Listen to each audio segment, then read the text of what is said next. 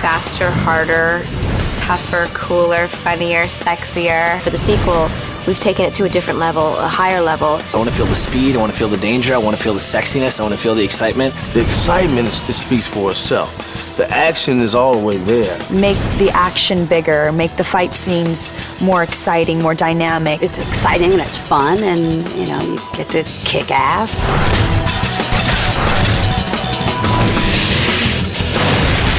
Taking danger, bottling it, and putting it, you know, on film. If every frame isn't special, then why are we doing it?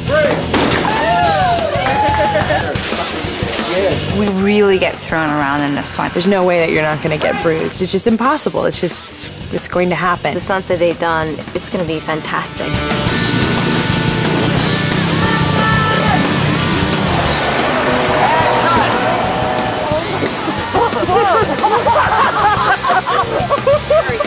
Ready? And punch, elbow. Okay, see where the blinking triangle lights Yeah. are that are moving? Yeah. They're installing the bleachers and everything. Well, the fun thing about this movie is you get to do everything. Motorcycles and surfing. Skydiving, boating. Flying through the air. I had never welded before, and here we are. We're strapped on full gear.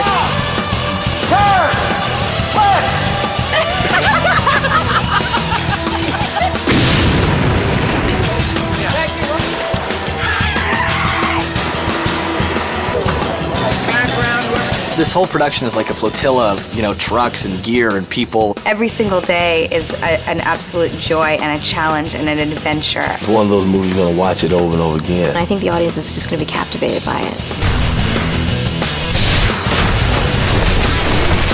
The Angels can do anything, anytime, anyhow. It doesn't matter. They can do it. Hey, Charlie, these girls are crazy. A little something for everyone. What's happening, angels?